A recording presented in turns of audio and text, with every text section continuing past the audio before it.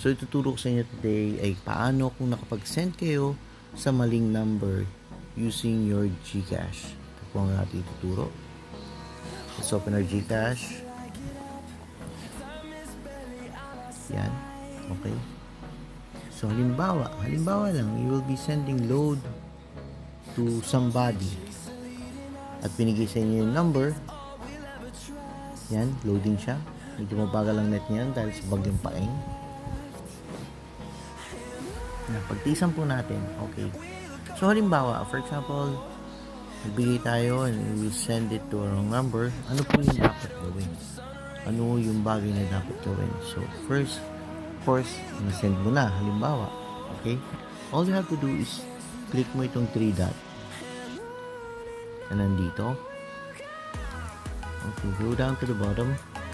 Dun sa pinaka baba makikita mo yung request pindutin nyo lang po yan. Okay as you can see meron po ako dito ng dalawang na na maling number na nasendan okay? So uh, all I have to do is make a new request. Click nyo lang po ito sa baba. Yan. Okay kung magkano yung pinadala nyo let's say 120 pesos. And then note nyo po dyan. Enter nyo muna yung number sa taas. Kung number. Kunwari yan. Okay na type na natin 0923 okay. And then ano po yung no? So let's say pagay nyo dyan wrong send wrong send okay. So halimbawa yan po ay na na lista nyo na. All you have to do is click the next button. Makikita nyo po doon. Ulit natin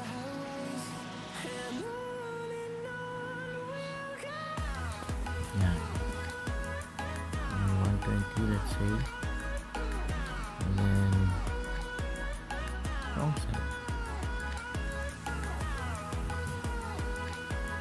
click the next button at lalabas po itong uh, verification dito. Be-verify nyo kung tama po yung number.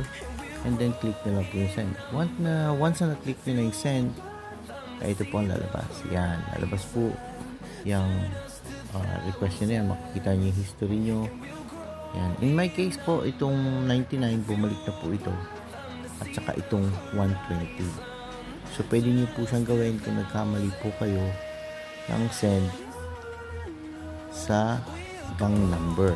Okay?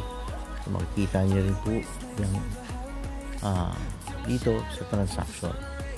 So, masusundan nyo po yun yung mga transaction nyo dito. Yan. Okay? So, maliwanag na po siguro sa inyo.